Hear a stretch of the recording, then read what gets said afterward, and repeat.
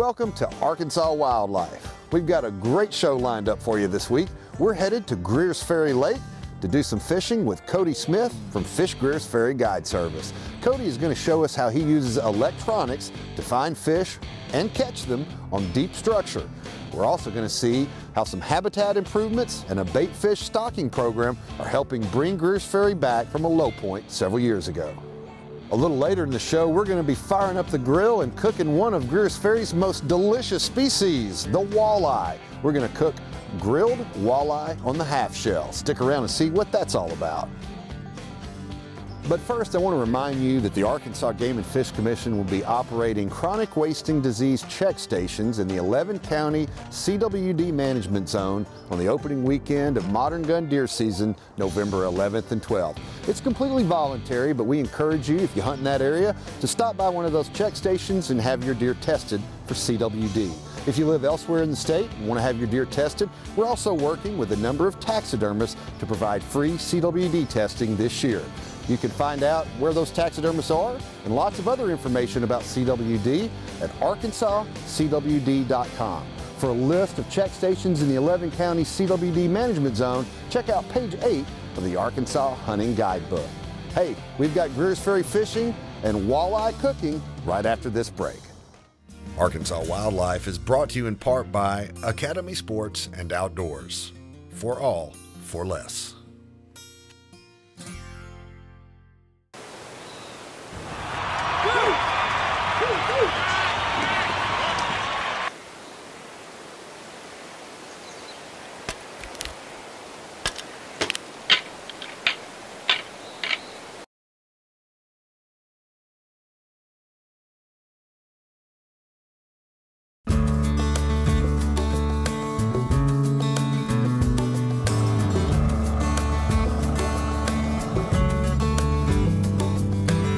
We're headed out today on Greers Ferry Lake with Cody Smith from Fish Greers Ferry Guide Service.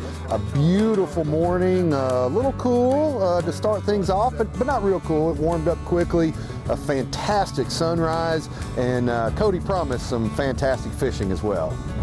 Going fishing! Cody and I actually met on a radio show uh, several months before this trip, and he told me that he really liked to use electronics. And so when he called me uh, about a week before we went out, he said, It's time, the, the fish are on some of these deep structures. So that was the whole purpose of this trip to go out and catch various species of fish on, on deep habitat structures, some natural structures uh, like the ones Game and Fish put in last year, and then some uh, PVC or man-made structures that uh, the Corps of Engineers worked with uh, local guides and anglers to put out uh, in recent years. We've put in 129 new habitat locations over the last three years. Nice. And then with Game and Fish's effort too, you know, the Choctaw Project and a few of the others, um, there's, you know, 160 plus habitats out here that have been created in the last three years. Just in the last three years. so, and, and man, I mean, the fish are using them, you know. And we're gonna, we'll, we'll, we'll see it Uh, with our own eyes pretty soon, yeah, I'm yeah, sure. We'll, we'll get to take a look. Let's take All a right. ride. Cool. One of the main objectives with this trip, in addition to uh, finding fish on these habitat structures, was to learn about uh, how Cody uses electronics to find fish. Electronics have come a long way in the last 10, 15, 20 years. You know, we used to have just the, the little flashers uh, and then uh, digital flashers. Uh, obviously, all of it's sonar, but right, you know, now they, they've gotten to the point where you can essentially see your bait drop down to the fish, and in some cases, see the fish make a move to the bait before he ever hits it. I mean, it's truly incredible. Oh, it's perfect, man. God, it is. Perfect. There he is. Set the nice fish on. Well, that didn't take very long. No, man. Look at the shad running. Isn't that great? What do we got? Little, little Nice bass. little Kentucky, man. Greers, Yeah. Ferry Special. Hey, easy as that, man. Using electronics to find fish deep is one of Cody's main tools that, that he relies on on Greers Ferry. Now we realize what we're looking at. These are a couple fish. It's not just a made up, you know, those are fish. If it doesn't say they're here, they ain't here. And after fishing with him, you can see why. In some cases, he'll actually tell you, we're fishing for, for this fish right here on, on the screen. We're fishing for this fish right here. You're singling out the fish. Oh yeah, yeah, definitely singling out the fish. So you're, you're holding your line, you're waiting for the bite, but you're actually looking at that fish on the screen, and you can tell sometimes when he's going to make a move towards your bait. It- It's really pretty incredible to, to fish like this. There he is. We can double up. Some people call it TV fishing. Now it's not really like watching TV, and but uh, you know it's not a camera, but but the the, the detail, the, the the way these electronics work now is is, is truly phenomenal. It's a Greers a pretty double. decent little smallmouth there. Yeah, man. That's fun. range That fun size. on that light line. Greers Ferry has many different fish species, famous for walleye, hybrid stripers, largemouth and smallmouth bass, crappie, uh, various species of sunfish. The first spot we hit, one of those PVC structures, we caught some really nice smallmouth bass, and that is always a lot of fun. Another purpose of this trip was to kind of see with our own eyes how Greers Ferry is starting to rebound from, from being pretty down a few years ago. You know, things had gotten pretty tough for anglers. Like Game and Fish, we, we looked into that and found out that a lot of that was because uh, some, some problems with the forage base, uh, particularly threadfin shad. Uh, the population was really, really down. You know, the bait fish is it has been so crucial to getting this fishery back to what it once was, and we are well on the way. So we did a few things, both in the way of habitat and uh, something a little bit different, stocking bait fish. We have a nursery pond there on Greers Ferry Lake, and historically our nursery ponds are used to raise various sport fish species, uh, crappie, catfish, bass, uh, you name it. Uh, but we started to raise uh, threadfin shad there, and uh, I think that's starting to make a difference. We also raised some threadfin shad at some of our fish hatcheries, a pretty good crop that we got out of our Joe Hogan hatchery at Lonoke, and then took those up and, and stocked them in the lake. Something I want to show you. Look how fat I know, that thing like- is. look at that belly on that thing. Golly, look at that. Look at that. I mean, that, that's that's a two-year-old class fish that has just got more fat on him than, than we've seen in years, and that's a direct result of the AGFC's bait fish restocking program. That forage base is starting to come back, and that's the foundation. So you're starting to see some of these sport fish species, uh, smallmouth, largemouth, walleye, they're coming back too, and we were really able to see that on this trip with, with Cody on Greers Ferry. Oh, You get a little more, oh, hey. that's a good one, I think. got more shoulders than the other ones have had. Yeah, we found us one here, I think. I guess I can help you Well, with the you know, net. I- I'd hate for you to put yourself out. I, ra- I would rather you try to catch Hey, you a little I'm trying football. to catch that. I'm trying to catch his uh, uh, sister over there. Her know what I sister. mean? That's a good fish, man. Well, the deal is, with this presentation and fishing out here, shoot, man. I mean, look how healthy. That's, Is that not a beautiful thing? And for north central Arkansas, it doesn't get any better.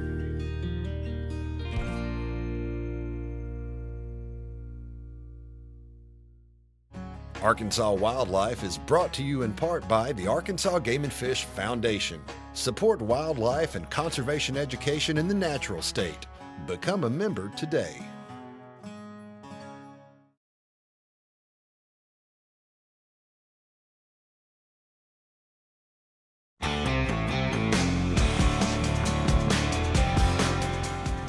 Guy. Give him a fighting chance. there we go. Nice, man. Hey, on. Well, he, he inhaled that one, didn't he? Yeah, he did. Here, you want to reel him in? Oh, man. yeah, I will help with the net this oh, time, though. awesome, awesome, awesome. Thanks, man. Oh, I gotta, I gotta feel useful in some Thanks, way. Thanks, man. I appreciate it. Well, you're doing a heck of a job. Don't need, let anybody tell you different. After hitting our, our first spot, or actually several spots kind of on the first spot, we uh, made a run up the Devil's Fork of the lake. On the way there, uh, Cody, uh, we, we're going under a bridge, and Cody says, "Hey, there's a bunch of schoolers up there. You want to stop and fish for them?" And I said, "Absolutely. Who doesn't like to fish for schooling fish that are chasing, you know, topwater baits or just slightly subsurface baits?" Uh, so we pulled in there, and uh, unfortunately, didn't really do all that great. Oh, we hit it. Just keep it oh. coming. Oh! you knocked the rod out your hand. I saw him do it. Yeah, they're hitting it hard enough to bite the tail off, Yeah. but not to get the hook. This is something we didn't have a few years ago. You know, Yeah. bait fish population was so so down, and now we've got bait fish back, so we're starting to see some schooling again. And fish have actually got something to school on. So I mean, it's it's fantastic to see this in the reservoir again. We were talking uh, about how you can see some of the fish on your electronics, and it can be frustrating knowing that they're there, but you can't get them to bite. It's like the grass. Are it's you like you know, you know they're there, kidding and Yeah. they won't eat what you're throwing at them. Oh, come on! Keep it coming. It's just as frustrating to watch these fish schooling all around you, obviously aggressively feeding, and yet, no matter what you try, you can't get one to bite. But it was still a lot of fun to, to fish for those schoolers under that bridge. They taught us a lesson. They showed us, didn't They They did.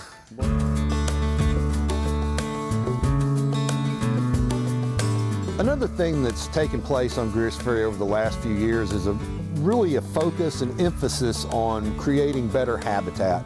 Many of our large upland reservoirs like Greers Ferry, Bull Shoals, Ouachita, you name it, they're just not that fertile. I mean, a, lake is only as fertile as the soil that's underneath it.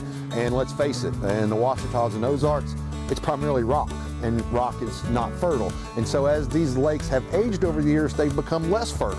Uh, one of the things that we've done is to place uh, new habitat structures in there. It gives anglers a place to fish, but it also is a place that attracts uh, it attracts small bait fish, uh, which attracts larger fish. And one of the projects we did at Choctaw Recreation Area last year, we, we took some invasive cedar trees out of a Corps of Engineers campsite, and then working with the Corps and some anglers, uh, game and fish staff from all over the state, dropped those at various places in the lake. Uh, some other groups have worked with the Corps to place PVC structures at various spots in the lake. Uh, guys like Cody have gone out and actually said, hey, this would be a good spot. So when everybody works together and kind of pulls in the same direction, you can really make a big difference. And the quality of fishing, the, the comeback of Greers Ferry is proof positive of that.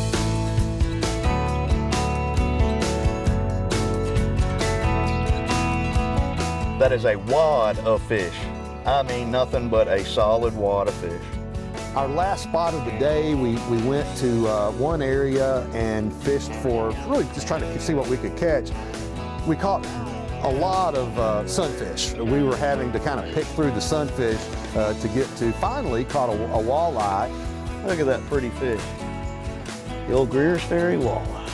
Uh, after that, we moved over to some, some natural uh, habitat, not anything that was placed, uh, some old standing dead timber. And uh, Cody had a spot. He said he knew we were going to catch some crappie there. And uh, sure enough, uh, it didn't take long. I think about the second or third cast, we, uh, we got some crappie on and we caught them consistently for the next hour, hour and a half. So just a fantastic day on the lake and uh, a great guide, a, a wonderful day. Temperatures were perfect, caught a lot of fish, uh, and, and most importantly, great to see that, that Greers Ferry Lake is, is making a comeback. Ja, there's a better one. That's a good one. Yeah. Box full of those and nobody's going hungry, you know?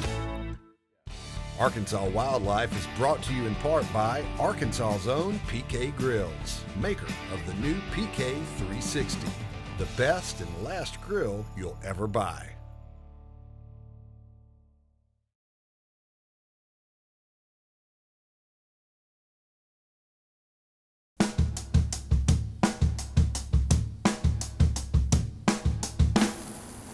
We've been fishing on Greers Ferry Lake today, and one of the species that inhabits Greers Ferry is the walleye. Uh, matter of fact, uh, the one-time world record walleye was from Greers Ferry Lake, uh, as established by the National Freshwater Fishing Hall of Fame record book.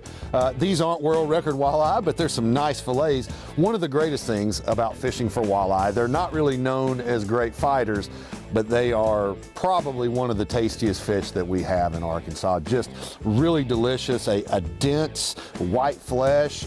Walleye on the half shell. First did this with uh, redfish. It's pretty popular in South Louisiana.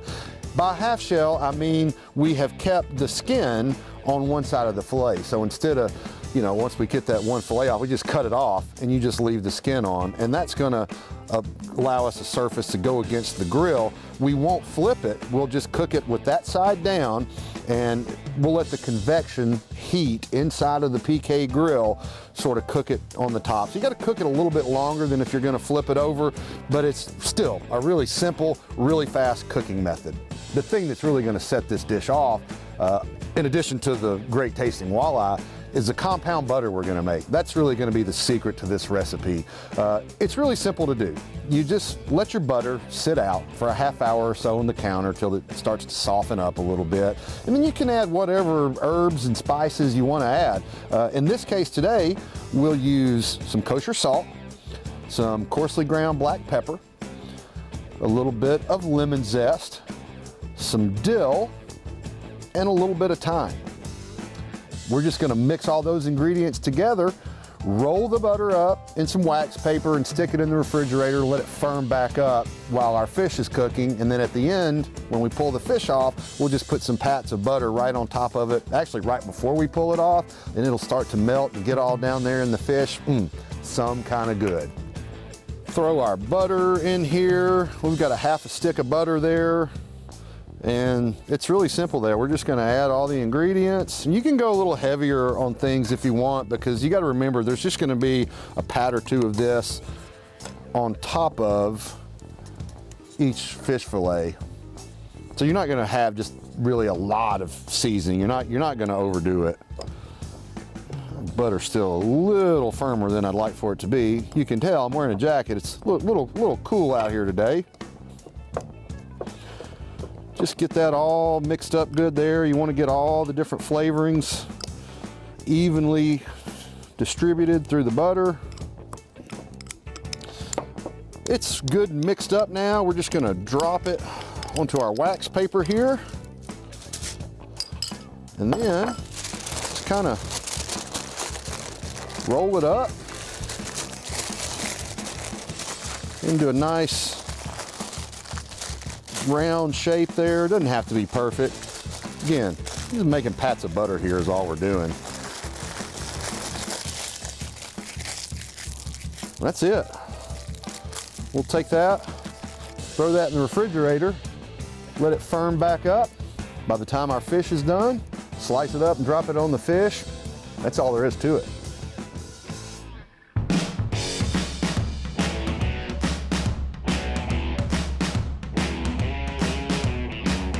The PK 360 is good and hot, not too hot. We don't want it up there five, 600 degrees because we don't want the fish to stick. And want good around 400, somewhere around in there. And we're really gonna use it more like an oven. We're gonna close the top so uh, that fish is gonna grill and sort of bake because we're not gonna flip it over, remember. We're just gonna cook it on the one side, the skin side down.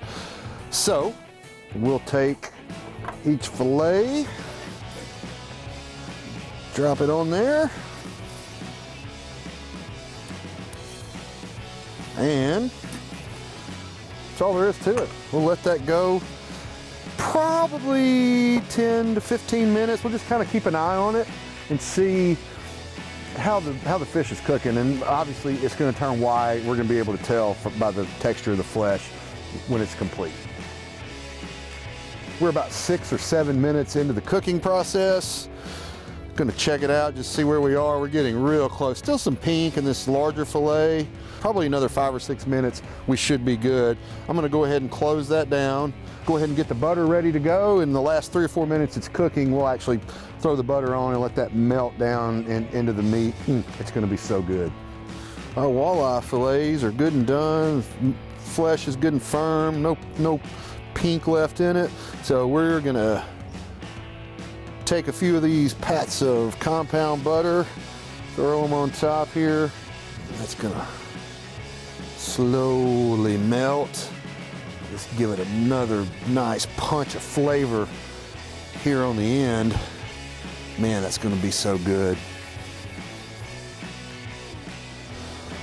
Okay, our butter is melted. It doesn't have to be completely melted. You make nice little presentation there. We'll just lay that right on there. A little lemon, some greenery to make it pretty. And there we have grilled walleye on the half shell with compound butter. Give this a taste test here. Ooh, that butter, those herbs, and that walleye. Oh my goodness. Mmm. Mmm, mmm, mmm. Hey, watch out, crappie. Here comes the walleye. Good stuff. Arkansas Wildlife presents the Watch and Win giveaway. During each episode of Arkansas Wildlife, we'll give away an Arkansas resident hunting and fishing license, a $35.50 value provided by Academy Sports and Outdoors. Visit the Arkansas Wildlife webpage at arkansaswildlife.com and click on the Watch and Win icon to enter. This week's winner is Debbie Coleman from Little Rock. Congratulations and thanks for watching.